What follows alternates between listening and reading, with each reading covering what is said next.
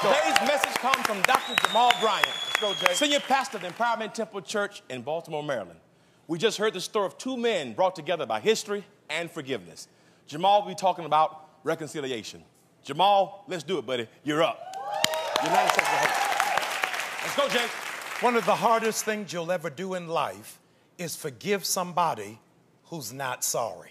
Mm. There's a story that's told of a woman who integrated the South. And she was the very first black woman to move into a community that was all white. And she had a neighbor who was absolutely disgusted that a black woman moved into the community.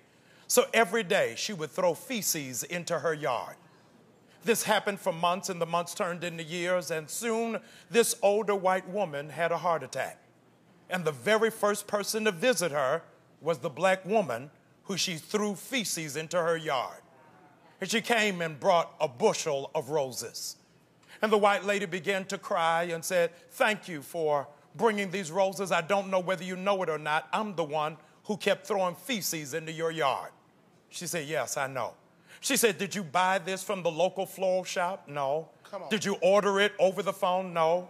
She said, You don't even know. These roses grew from the feces you threw in my yard. You meant it for evil, but God meant it for good.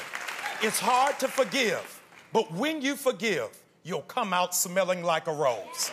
People will do all kinds of nasty things to you, but remember the example of Jesus. When he died, he gave the original FU. Father, forgive them. Forgive those who are nasty to you. That's how you smell better than your experience. We're the preachers.